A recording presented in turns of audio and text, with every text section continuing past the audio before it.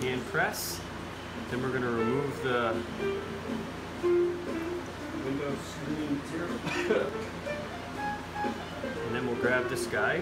So now it's pretty stable to move around. And you want it like this, something like this? Like this Yep. guy? Okay. So then we just take it, and this is really something that's, I mean, super awesome about flexible molds. Is now we're going to pack it here onto the surface. It's going to get a little bit wet below us.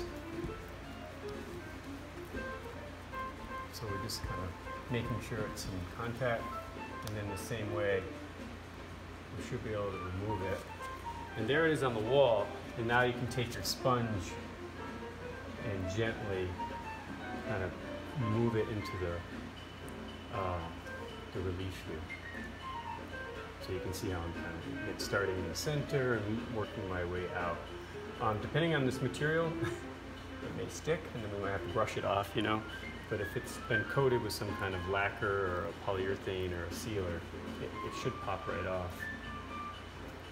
So you can do casts this way. So that's something that is very, uh, this flexible uh, mold to one of the advantages of this.